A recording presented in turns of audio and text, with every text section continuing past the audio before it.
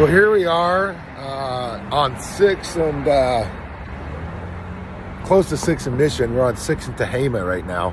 Um, boy, the streets of San Francisco are clean. I think it's because the president was in town. I mean, working, I, let's see, I stopped working here in like 2019, 2020, and it was crazy. Now it's they got this they got the streets cleaned up. Look at this. Look how clean it is out here. San Francisco, California. Cleaned up the streets for once. Anyways, I'd imagine it'll it won't stay this way for too long.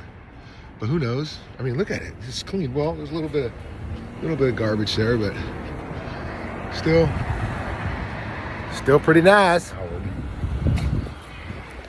You know, when I used to work here, it was kind of brings back memories here. But oh man, this is the heart of it.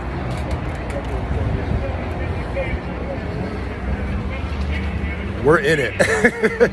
We're in the heart of downtown. And it looks like they've kind of cleaned the place up here from the last time I was here. But uh, yeah, not not too shabby now. They've kind of cleaned up the place a little bit.